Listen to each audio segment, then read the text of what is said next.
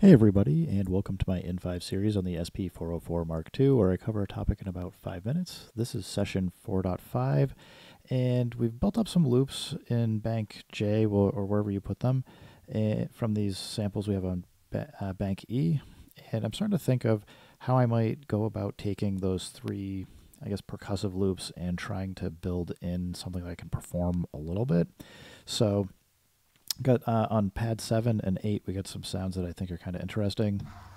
Got like this kind of really low. I think this is just like kind of moving the uh, Pringles can on the table.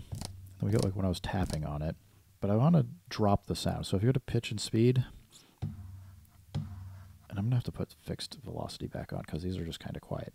So shift, pad one, oops, shift, pad one while I'm in sample mode but not in the pitch speed editor will get us fixed velocity on. And what I had just done, whoops, uh, in pitch speed,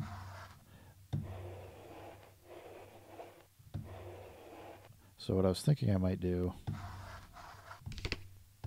is take some of these and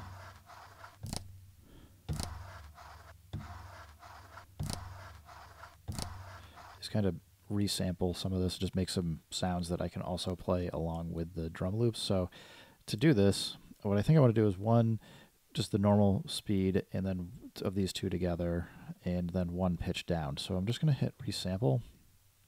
I need to find a free pad. So we're going to go to J, and I'm going to keep the loops up top, and then maybe like these, like the 9 through 16 we'll use for some of these different sounds to have some like effects going. But we got our pad. Now I got to switch back to bank E. And what I'm going to do is just hit both of these at the same time. And hopefully it'll be good, and then we'll hit record when we're done. So we got one. So now if I switch back to, or if I'm in J now.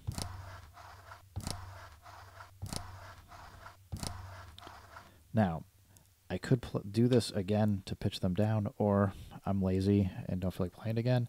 I'm going to copy, I'm going to take pad 9, copy it to pad 10, and now what I can do from pad 10 with both of it's just the an identical copy of 9 and 9 into 10 now. I can hit pitch and speed on pad 10. I can then drop this down. So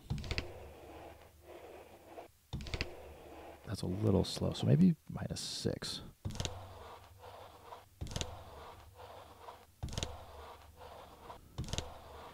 So now if we take this, let's see if we can hear them.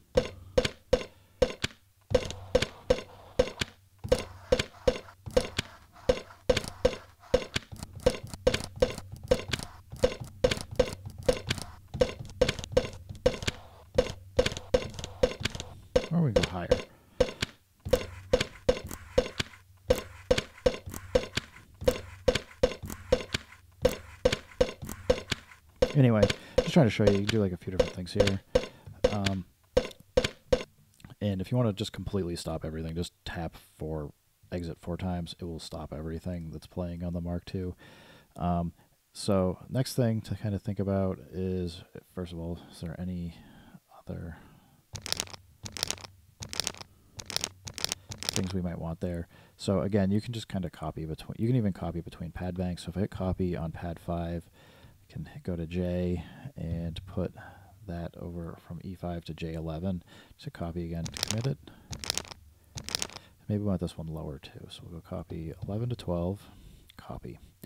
So right now the same. We can hit pitch or we can do any of the other things here. And we'll go minus 6 as well.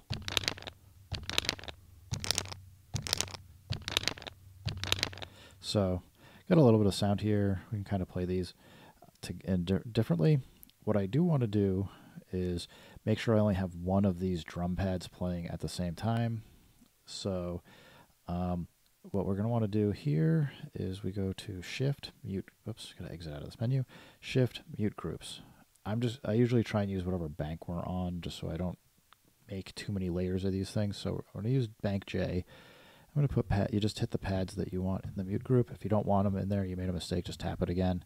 But you can see here I've got pads 1, 2, and 3 in this mute group, which means when I play one of these pads, if it will play by itself, and only one of them can be playing at a time. So if I do this, so play this, I want to switch over.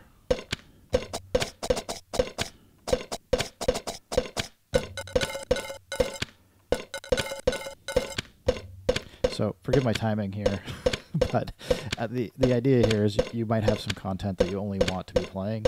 You can even extend this so you could have drums doing that one level. You could have like bass on another, sound effects or other things. So you get it. Some pretty complicated setups. Anyway, when we come back, as I said, we'll just kind of keep working on this a little bit and uh, show you some more things. Anyway, have a good one and peace.